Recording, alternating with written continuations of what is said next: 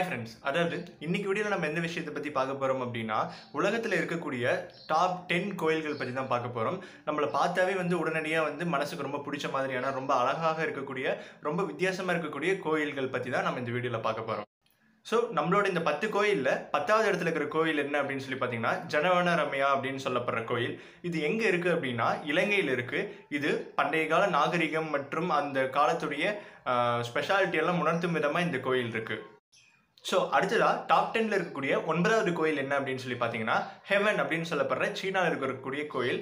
இந்த கோயிலோட ஸ்பெஷாலிட்டி என்ன அப்படின்னு பார்த்தீங்கன்னா இந்த கோயில் வந்து அஞ்சு நூற்றாண்டுகளுக்கு முன்னாடி கட்டப்பட்ட கோயில்னு சொல்கிறாங்க ஸோ அது மட்டும் இல்லாமல் ரெண்டு புள்ளி ஏழு மைல் பறந்து விருந்த பாதை அதில் இருக்குன்னு சொல்கிறாங்க ஸோ அது மட்டும் இல்லாமல் இந்த கோயில் வந்து சொர்க்கத்தை பிரதிபலிக்கக்கூடிய கோயில் அப்படின்னு சொல்லி சொல்கிறாங்க ஸோ இதுதான் வந்துட்டு நம்மளோட டாப் டென்னில் நைன்த் பிளேஸ் பிடிக்கக்கூடிய ஒரு அற்புதமான கோயில். ஸோ அடுத்ததான் நம்மளோட டாப் டென்ல இருக்கக்கூடிய எட்டாவது இடத்துல இருக்கக்கூடிய கோயில் என்ன அப்படின்னு பார்த்தீங்கன்னா போரன் புதூர் அப்படின்னு சொல்லப்படுற கோயில். இது வந்து இந்தோனேஷியாவில் இருக்கு. இதோட ஸ்பெஷாலிட்டி என்ன அப்படின்னு சொல்லி பார்த்தீங்கன்னா இது வந்து நம்ம உலகத்தில் இருக்கக்கூடிய ரொம்ப பழைய புத்த மத கோயில். ஸோ அது மட்டும் இல்லாமல் இந்த கோயிலில் வந்து ஐநூற்றி நாலு புத்தர் சிலைகள் இருக்குது ஸோ அடுத்ததான் நம்மளோட டாப் டென் கோயில்களில் ஏழாவது இடத்துல இருக்கக்கூடிய கோயில் என்ன அப்படின்னு பார்த்தீங்கன்னா புலிக்கூடு மடாலயம்னு சொல்லப்படுற கோயில்.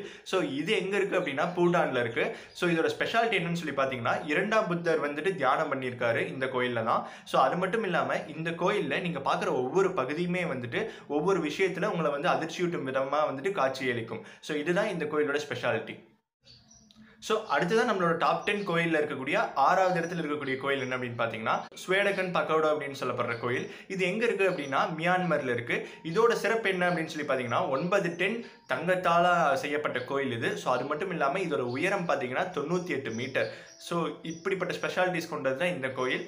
ஸோ இது வந்து சிக்ஸ்த் பிளேஸ் பிடிக்குது.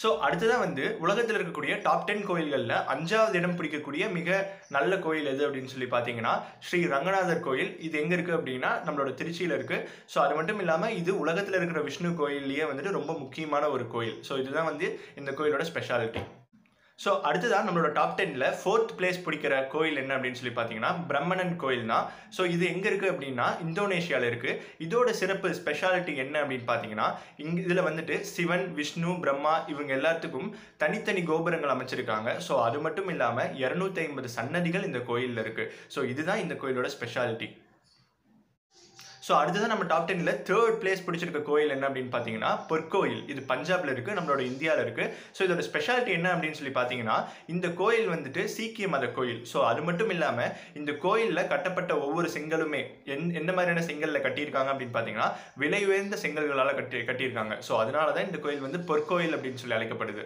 ஸோ இதுதான் இந்த கோயிலோட ஸ்பெஷாலிட்டி ஸோ அடுத்ததான் நம்மளோட டாப் டென்னில் ரெண்டாவது பிளேஸ் பிடிக்கிற கோயில் என்ன அப்படின்னு சொல்லி பார்த்தீங்கன்னா அங்கோர் வாட் அப்படின்னு சொல்லப்படுற கோயில். இது எங்கே இருக்குது அப்படின்னா கம்போடியாவில் இருக்குது ஸோ இதோட ஸ்பெஷாலிட்டி என்னன்னு சொல்லி பார்த்தீங்கன்னா இது ஒரு புத்தர் கோயில். ஸோ அது மட்டும் இல்லாமல் இது கெமர் நாகரிக காலத்தில் கட்டப்பட்ட கோயில் அப்படின்னு சொல்கிறாங்க ஸோ அது மட்டும் இல்லாமல் இது உலக கட்டடக்கலையோட மாஸ்டர் பீஸ் அப்படின்னு சொல்கிறாங்க இங்கே வந்து அறுபத்தஞ்சு மீட்டர் உயரம் வரைக்கும் கோபுரங்கள் இருக்குது ஸோ இதுதான் இந்த கோயிலோட ஸ்பெஷாலிட்டி ஸோ அடுத்ததான் நம்மளோட டாப் டென்ல ஃபர்ஸ்ட் பிளேஸ் பிடிச்சிருக்க கோயில் என்ன அப்படின்னு சொல்லி பார்த்தீங்கன்னா வாட்ராங் ஹீன் அப்படின்னு சொல்லப்படுற கோயில்.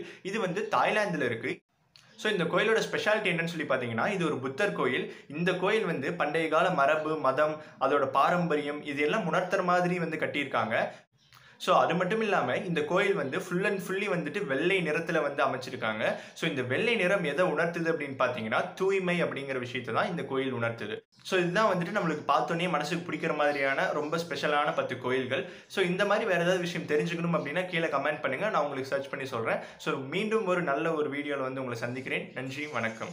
தேங்க்யூ நம்பி வாங்க சந்தோஷமா போங்க.